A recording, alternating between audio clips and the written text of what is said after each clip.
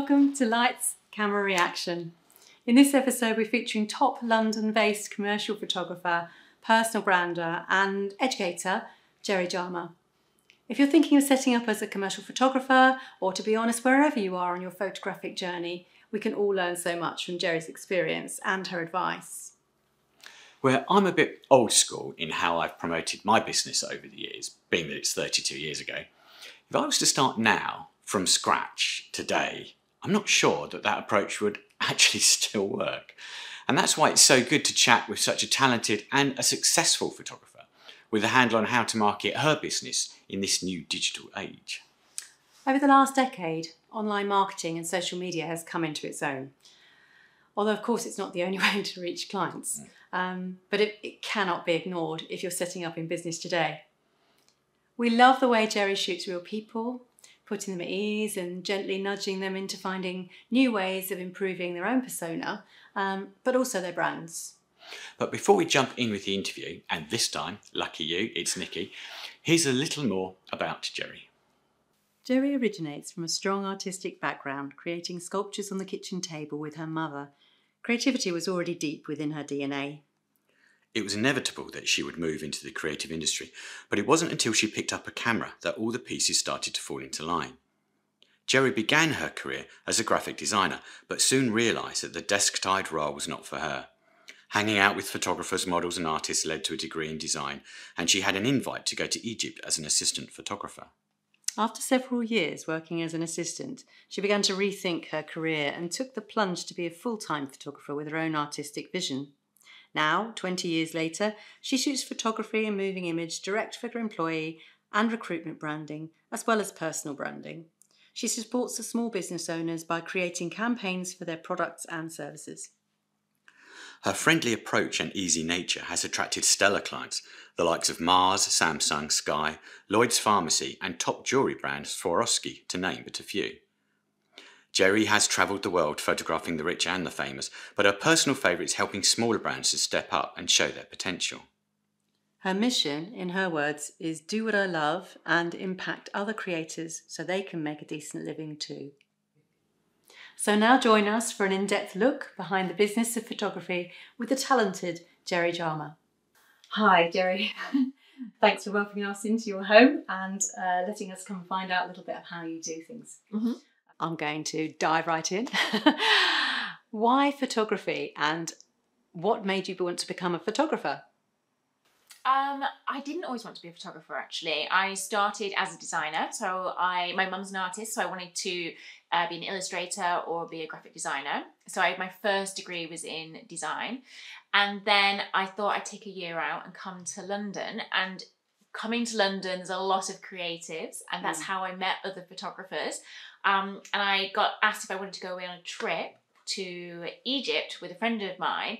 And I was studying at the time and I was also doing some part time work in a design agency. And I wasn't loving it because it was just very computer orientated. And I really loved hanging out with people. So he was like, come to Egypt, come to Egypt, have a little trip. He was like, I'll pay you to hold a reflector. And I was like, all right, okay, cool. Sounds like a good deal. Sounds like a good deal. so I was in Egypt, I'm holding this reflector up, and I'm like, I quite like this. This is I can if I can get paid to do this, then yeah, I'm loving it. So I came back to England, quit my job in a design firm, and the rest, yeah, was history. And I think I chose photography purely because of the people. I wanted to travel. I wanted to meet loads of different people and get to know them. Um, and I wanted to be creative, but I also wanted instant gratification at the same time. So by taking a photo and someone going, I love it, or I want to change it, or can we do this? It was it was such a like an instant again gratification rather when you're designing you're back and forth and back and forth and all you ever hear is actually negativity about what you've just created. Mm-hmm. and so that's why i was like actually photography suited my personality. And is that because you found that out once you were in the industry? Um, so you found the difference between the design and that so that's that's the part of that. Yeah so yeah so by doing the experiences in the design firm and realizing actually it wasn't very client orientated i was sat at a computer all day which i didn't like doing um, it wasn't good for my well-being. I, all I ever heard was negative change this, change that, and you could do like 20 sheets of design, and then they would want to change the color to a darker pink.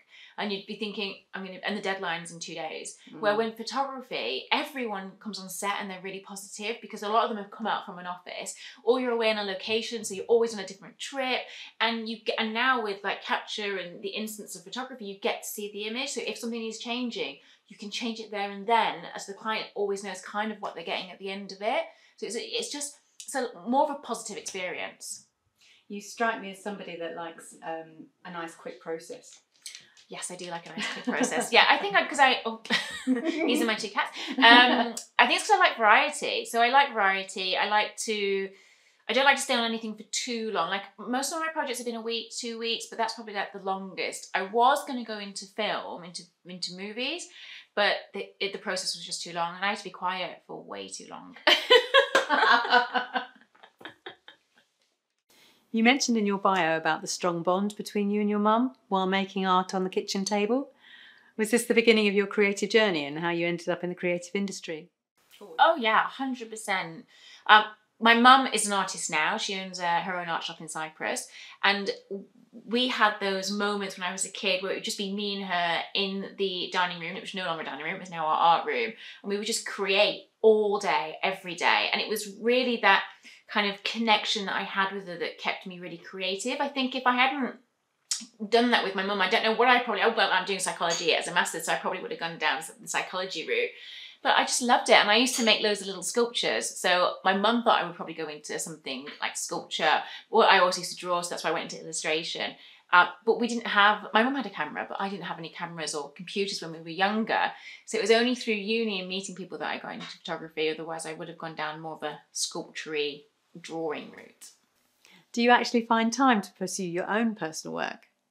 Um, I do. I do have time. So drawing before lockdown, I did a project in Cyprus, which I still haven't edited or got out yet, as usual.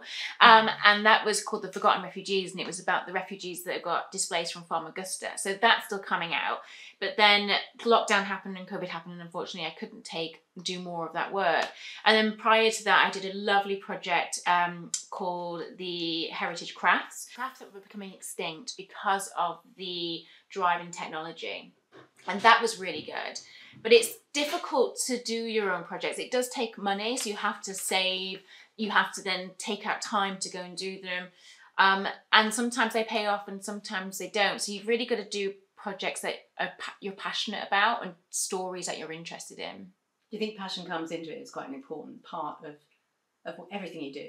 Oh yeah, hundred percent. Like Mm. I love it. So the reason to my projects are either going to be art orientated because I love crafts, or history orientated because I love history, and everything's got an element of psychology in because I love to know why the person's doing what they're doing or what their emotions are behind the project that I'm shooting. So the Forgotten Refugees, it was all psychology orientated because I wanted to know how that affected him and his family and the rest of the people that had been displaced.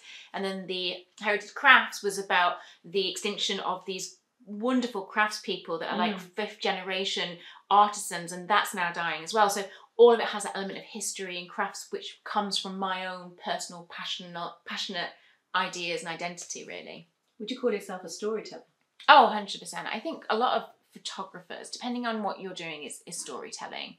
Yeah. And Mm. a- again for me i love meeting people and understanding that person so when i get to be and i love to be nosy let's be honest. so when I get to ask those questions and they're telling me about their lives, I just think it's fascinating. Why do you think I'm sitting here? Yeah.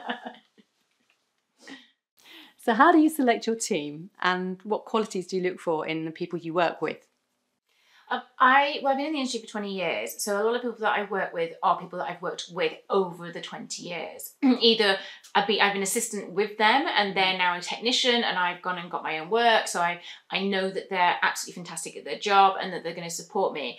And I think the most important thing when I'm when I'm bringing on my own assistants is that they have to understand that I don't see them as assistant. I see them as my uh, right hand. You're my second pair of eyes. You're there to support me, and I'm there to support you. We're a team, and I and I really believe that you can only get really great images if your team feels supported and you feel supported as a photographer.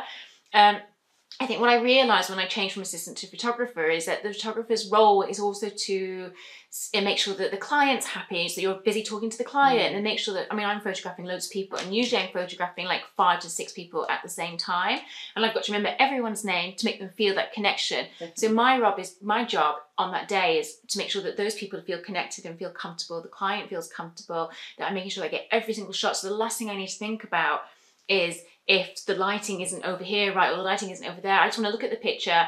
You take my direction, look at the picture, and go right. Yeah, that's great, and tweak it. So I need a team that I know supports me and also knows my style. So I mm-hmm. prep my team before the shoot, tell them that this is what I'm going to be using, tell them about my lighting, tell them about my grade. I set everything up and then I just need to tweak. And if I feel like someone's not supporting, I usually say that to them on the day and go, listen, we're a team and we're here to support each other. If you feel uncomfortable or there's something, a problem, then feel free to speak to me. But yeah, I think it's important to understand who it is that you're working with because depending on what job you've got, it can make it really difficult if someone's not on your side. Mm, absolutely, absolutely. So, what do you find the most challenging part of your business? I think the most challenging part of the business would be the marketing. Yeah. Um, I always tell other photographers who I coach and mentor, of anyone that's coming into the industry, that it's 20% creative, 80% business. Sometimes it's even 10% creative and 90% business. Yeah. And the most important bit is getting those clients. And yes, you've got to get new ones, but you've also got to really keep your ones that you've already got and treat them like gold. And Mm.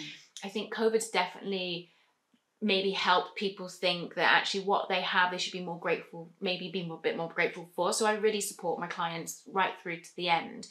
Um, and i think the social media now has made marketing a, a lot different. Like you could send a card in the post or you could maybe send an email but now you've constantly got to be out there turning up showing up showing your work letting people know why you're doing your work. There's a lot more energy that goes into it now. And it can be the marketing side literally can be a job in itself.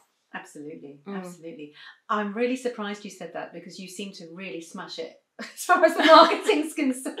From my angle, anyway, Oh, certainly thank like you. that. Yeah, I mean, I, but again, it's what it looks like on the outside and what it is on the inside is two different things. And it, I, I have to work really hard. Like I Mm. have to uh, plan. I have to put my months in quarters. I have to know what content I'm writing, why I'm writing the images that I'm going. I save up a bunch of work and then I batch it out. I sometimes hire an assistant to do my social media marketing for me when I'm really busy because if I'm sh- if I'm shooting, I can't do anything else. If I'm editing, I can't do anything else.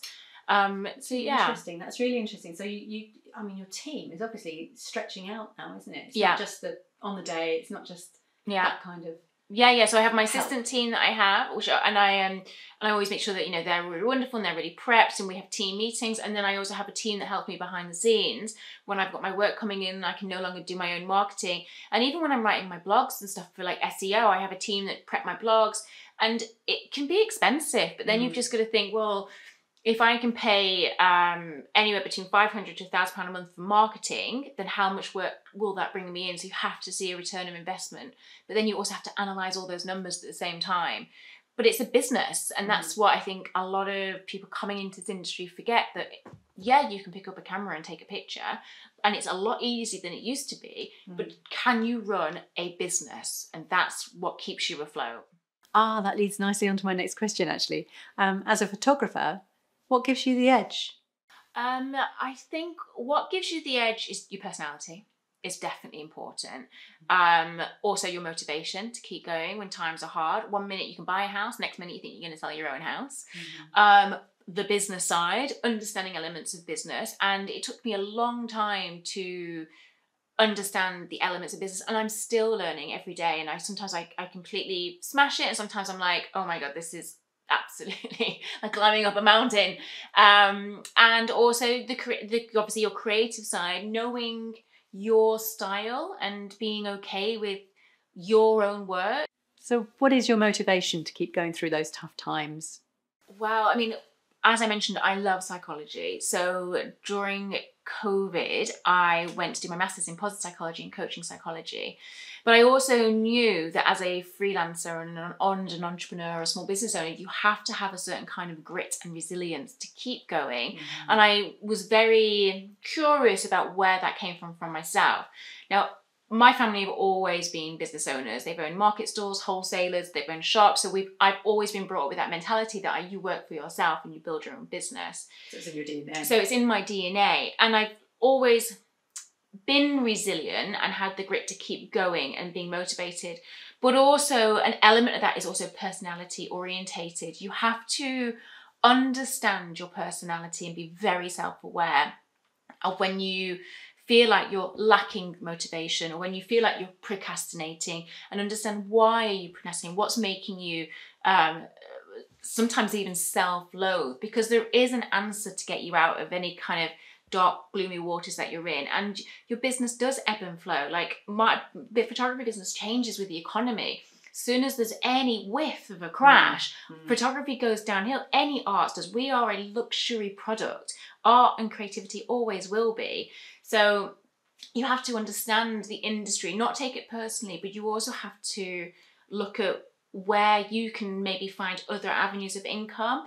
When I was completely consumed by photography, sometimes it can become quite difficult because if things aren't working out and all you're thinking about is photography, photography, photography, it can become quite exhausting. So finding other avenues of income is is also quite imperative for some people, but also having different hobbies as well. Mm. Um, mm. You know, looking outside the box, doing different things. Like, yes, I like to be creative in photography, but then I'll also paint or I'll do pottery or, you know, I'll spend time in nature. Me and my boyfriend go on a lot of trips and do videos when we're abroad. So it's also having different outlets for when things may not be going as well as you would like.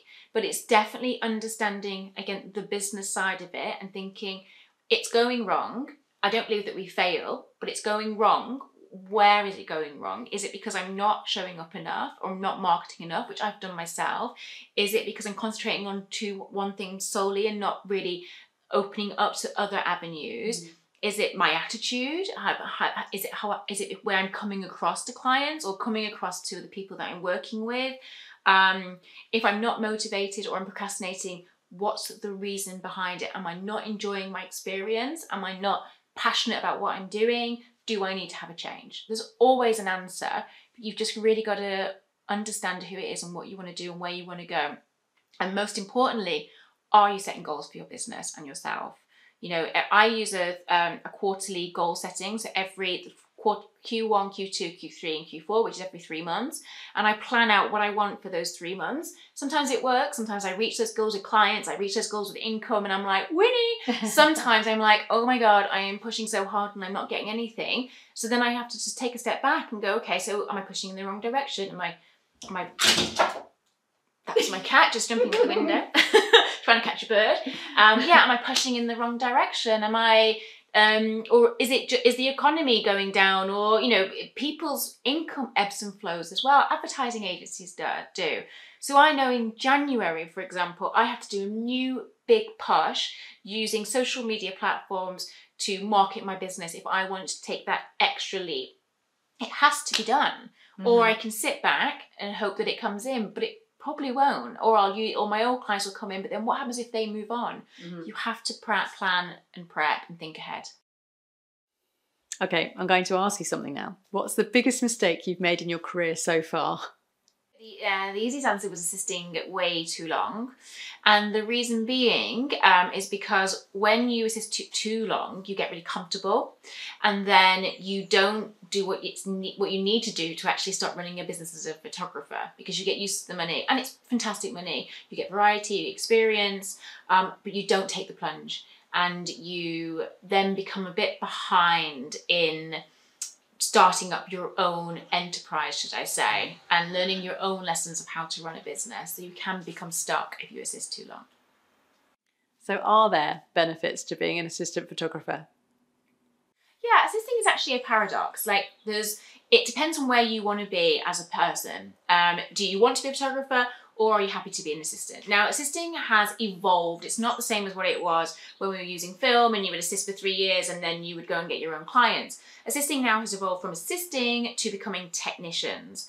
And also the rates have changed completely down. So when I first started, this is 20 years ago, I could anywhere between £75 for the day to 150 and then it went from 150 to 250 and now generally it's between 250 to 350 to 500 for advertising jobs, big advertising jobs. But you've got to remember the, the 250 to 350 is mid, then the 350 to 500 is kind of one off advertising jobs every mm-hmm. now and again, depending on budgets and obviously depending on what's going on with the climate.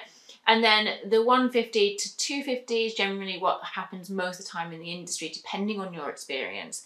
Now, for myself, after about, I would say five years, I stopped assisting for 150 just because I was more qualified than that. And I saw myself as not being taught by the photographer, I saw myself as being the second hand of the photographer. So, with that means that your rates could go up or should go up depending on mm. what it is that you're working on if you're doing editorial, commercial, advertising. Now, again, because it's evolved with assisting, when I decided that assisting wasn't right for me, was because I wanted to be a photographer. I wanted to be the lead creative. I wanted that responsibility. Um, I wanted to speak with the art directors and the agencies, and I basically wanted to be in control because I'm a control freak, as most photographers are.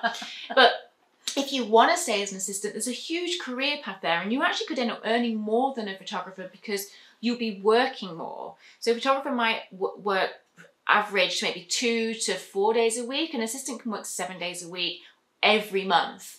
Um, and if you're earning 250 to 500, depending on your jobs and who you're assisting, you could be on like nearly 60 to 80 grand a year. So, and that's when you stop becoming an assistant and start becoming a technician. And if you're going to bring in your own equipment, so your own computer, your own screen, bring your own cameras, and even sometimes your own lights, some photographers travel, so they don't have all that stuff with them. You can then command a thousand pounds. You could be on the same as a photographer. A photographer might be on fifteen hundred. You might be on a thousand because you've got mm. all the kit. Mm. So it, again, there's a real good um, basis for a career move, but you have to understand what it is that you want to do. Now, for me, I didn't want to be a technician or an assistant, so I had to really say, do I have what it takes? To put the effort in mm. to be a photographer because it's hard work with the marketing. But if you are happy to be a technician or assistant, that's also a very good, viable career move. And a lot of my friends are technicians and are doing fantastically well. And I couldn't do a job without them. That's how mm. important they are. In your opinion, do you think the world is saturated with too many photographers already? Uh, for 20 years, I've heard that the world is saturated with photographers, and for 20 years from now, I'll hear the world is saturated with photographers. The, the, everywhere is saturated. It's not about um, it being saturated. It's about what how what's your part to play in the saturation.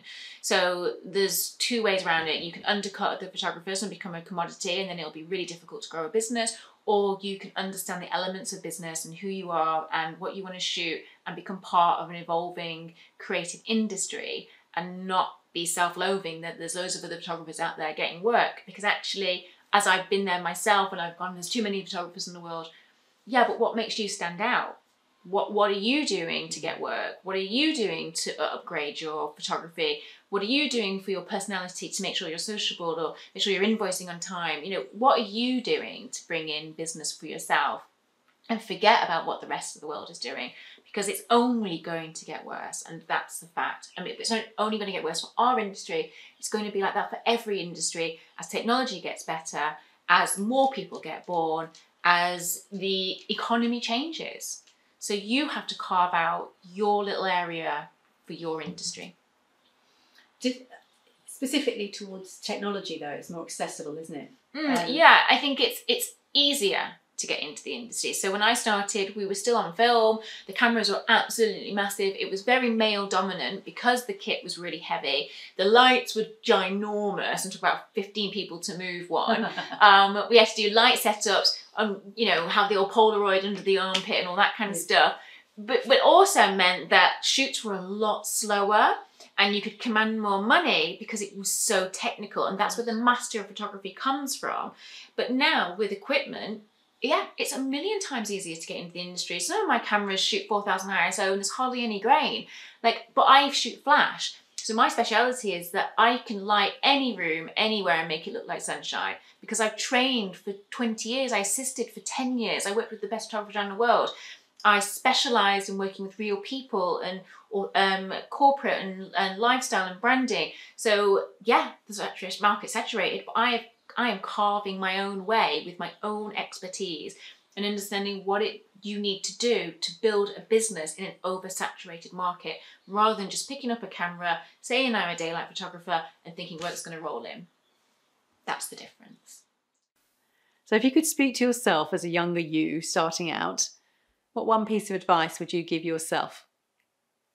Oh, what advice? I would say be brave, experiment as much as you can all the time to understand who you are and what you like. Realize that there's no such thing as failing, only learning. Uh, learn business as quick as possible. Understand money, understand cash flow, understand um, that your clients are your bedrock. They are worth their weight in gold and be as nice and polite and as kind as you possibly could and be grateful for every day that you get work off a client. And um, figure out what you want to do, how you want to do it, and who you are as quickly as possible. And work your ass off. Because it does not come easy unless you know someone in the industry, unless you've got massive amounts of cash flow, unless you're really wealthy. I mean, I start from nothing and I've built my way up and I've studied and I've worked hard. And yeah, it take and it takes time, so much time. So much time, more time than you think it will take. It takes a lot of time to keep going. So, do you have a new path for your business going forward?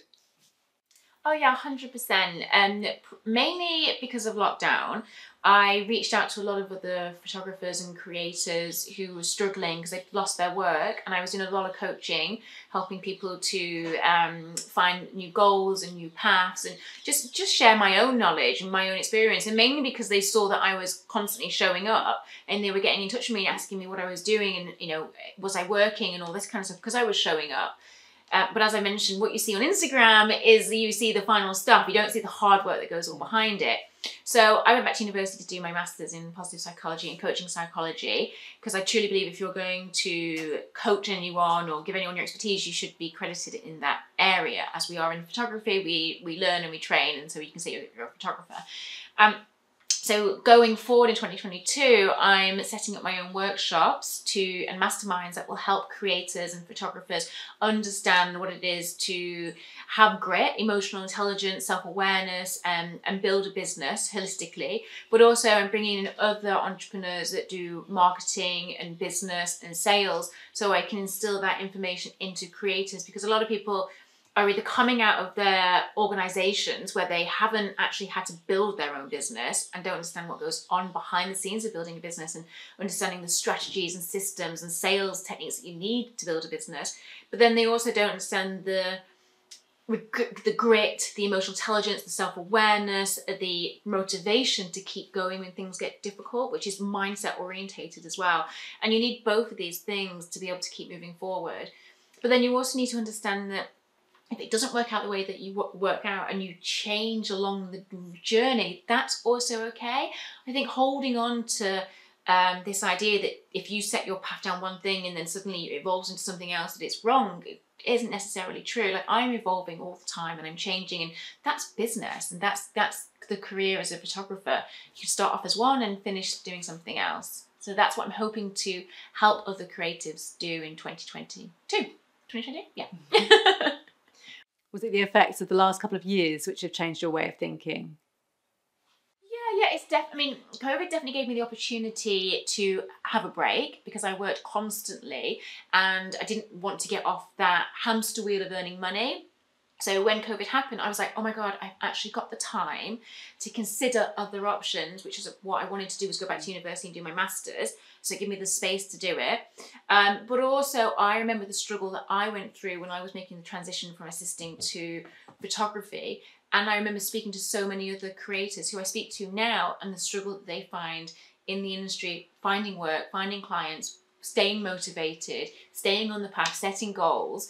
Um, and I had to think, well, how have I? I mean, I was apart from doing one stint for a couple of months in an organization, I was freelance since I was 16. I've always built my own businesses.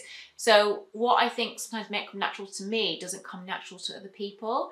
And I'm extroverted, I'm outgoing, so I can show up, but I still find it difficult. And if I find it difficult, other people must find it difficult too. So I think it's nice if we all come together and be open and authentic about the business, about the stresses, the, the difficultness, the income, the projects, the clients, what goes on behind the scenes. And I'm happy to share all that information because if it helps somebody else get a foot in and the water and helps them find their path, then then why not? I'm always evolving, so I have nothing to worry about.